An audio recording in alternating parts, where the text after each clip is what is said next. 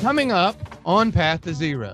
Replacing diesel engines with near zero emission LPG engines will reduce diesel particulate matter concentration in our surrounding communities.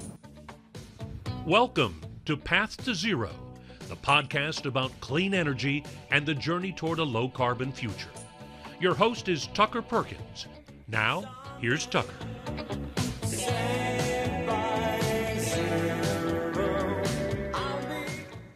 In this episode of Path to Zero, we're excited to welcome the leader of one of the busiest ports on the East Coast. Jim Pelliccio is the CEO of Port Newark Container Terminal, which is being recognized today for its ambitious efforts to reduce emissions and decarbonize. Jim, thanks so much for hosting us and for being on Path to Zero. Tucker, thanks for having me. We're looking forward to a great day today.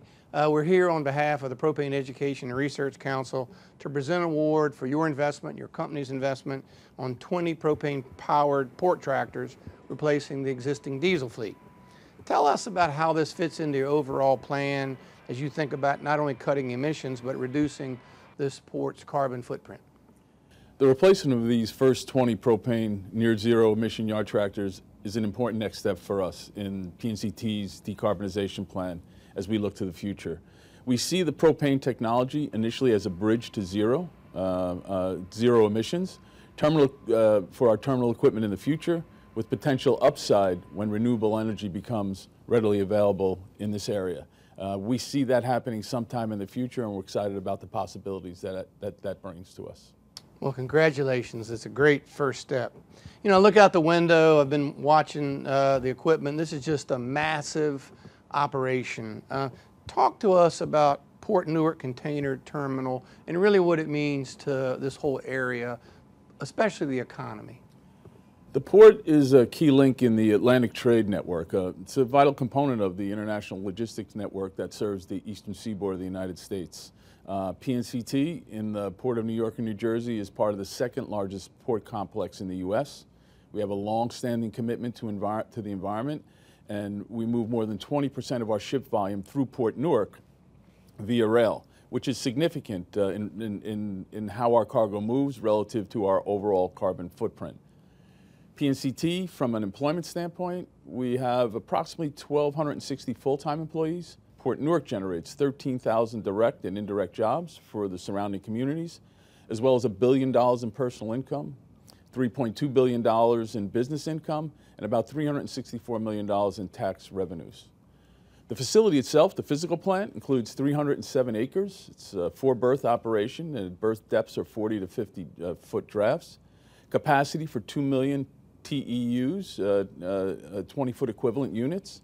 Uh, we have exclusive on dock rail operations, 8,000 feet of storage track, uh, 10,000 feet of working track, the facility operates with 13 uh, gantry cranes, uh, ship-to-shore gantry cranes, 124 straddle carriers. We're a straddle carrier operation.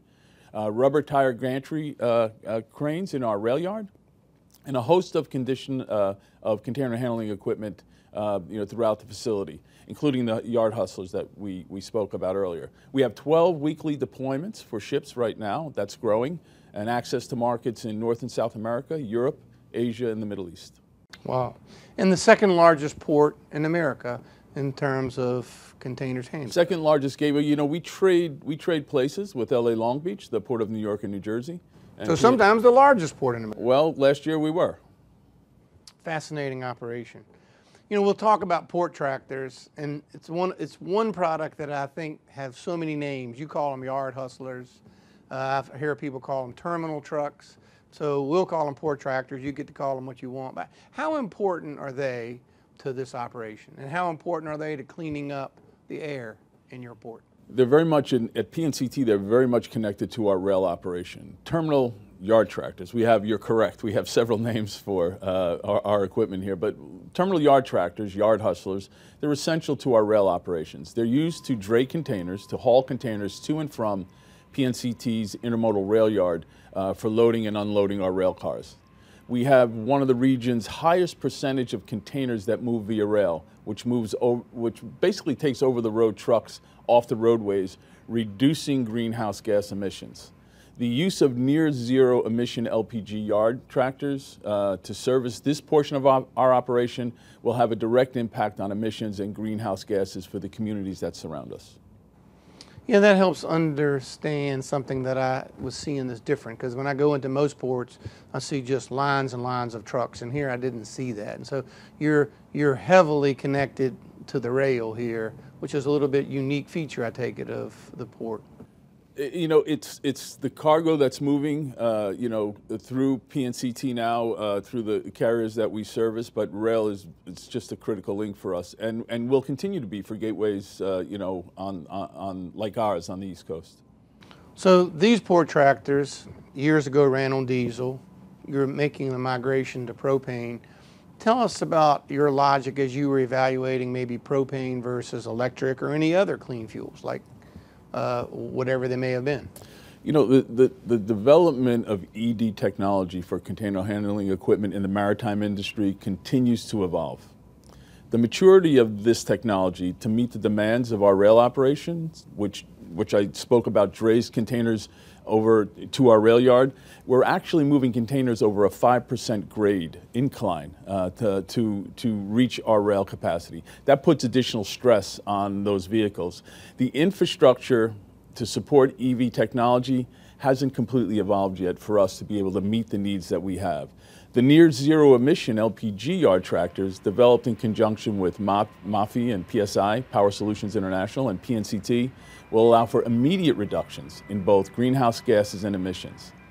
Implementation of near zero emission LPG yard tractors can achieve even further reductions of greenhouse gases in the future when renewable becomes available, as I said earlier, for PNCT. That's really, really exciting and it's happening. It's like in our hands today, we can execute today.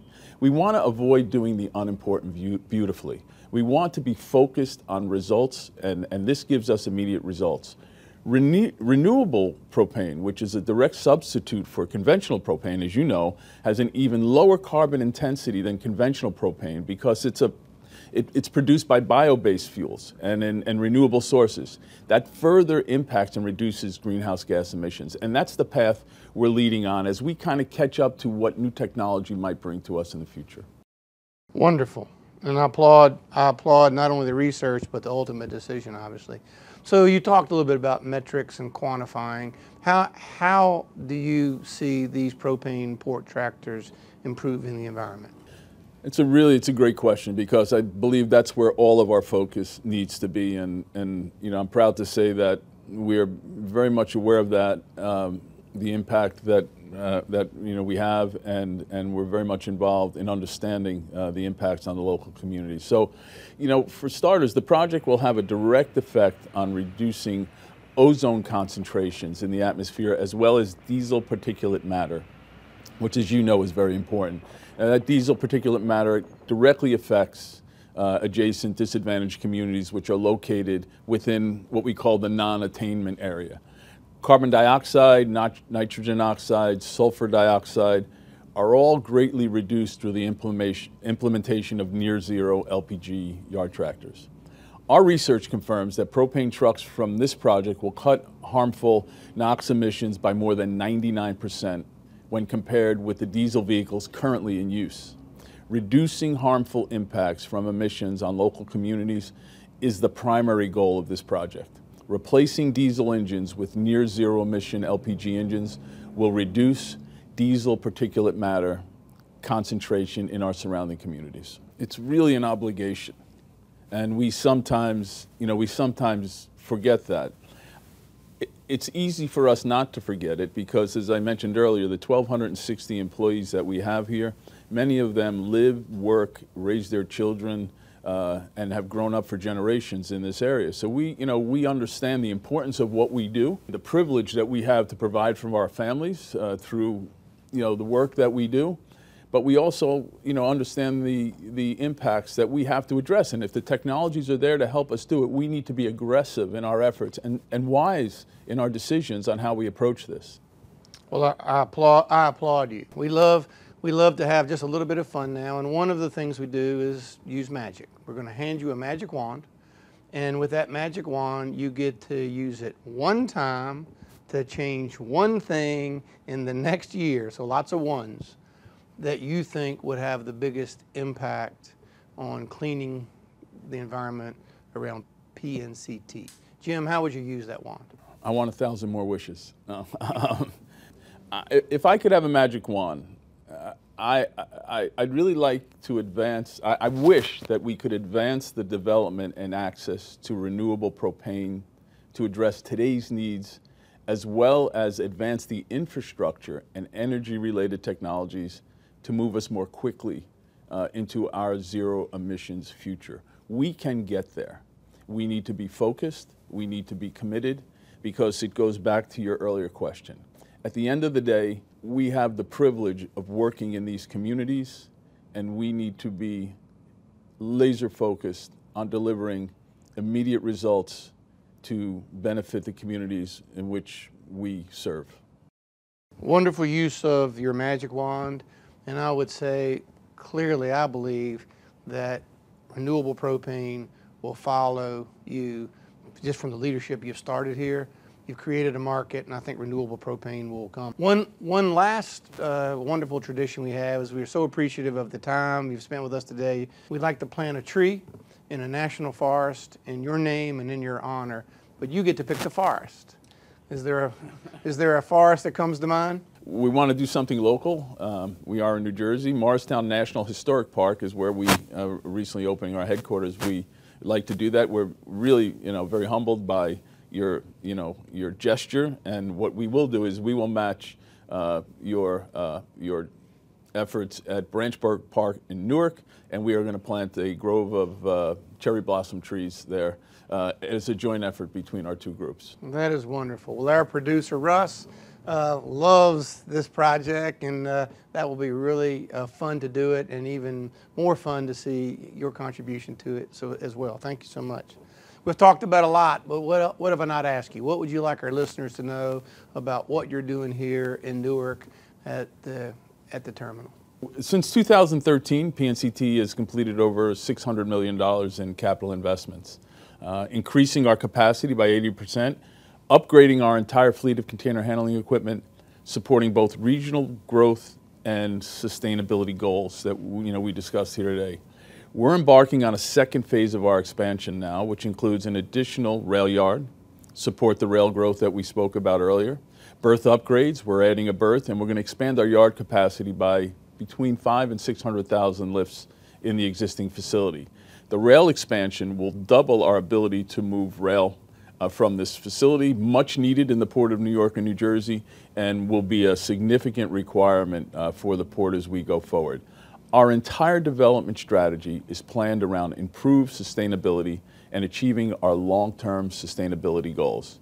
We're currently exploring the integration of near zero LPG technology in our straddle carriers, which is our prime container handling equipment at the terminal. This project is being supported by, the, uh, by PERC in coordination with Konecranes and PNCT. We're very excited about the potential uh, for integrating battery energy storage systems into our electrical network to allow PNC to develop a microgrid. That's the first of its kind at, the maritime, uh, at, a, at a maritime facility. When you combine the work that we've already completed on our solar efforts, where we'll produce over 50% of our, our, our energy for this terminal at the end of this year through renewable solar energy. Uh, we want to kind of leverage that in a battery storage integrated system that will provide us for uh, uh, a microgrid, which you know we're working very very hard on. This is not pie in the sky stuff. We are already in the ground moving through these ideas and I, I you know I'm, I'm, hoping that we have a chance to speak again to talk about the results of these efforts uh, and you know I, I, really thank you for having us today and and, and all the help we've received uh, from not only you, but our, our partners, uh, our partners throughout, the, throughout our efforts here. Well, Jim, I don't know how to tell you how much we appreciate you allowing us to be here today and hearing your story. As I, as I listen to your story, this the one word that comes to me is leadership. That you know, from it, it's your leadership, your team's leadership, your active involvement in not only this port, but thinking about how this port impacts your workers, your community, and most, most importantly, the children around here. So thank you. I look forward to a great day in Newark today. Thank you very much.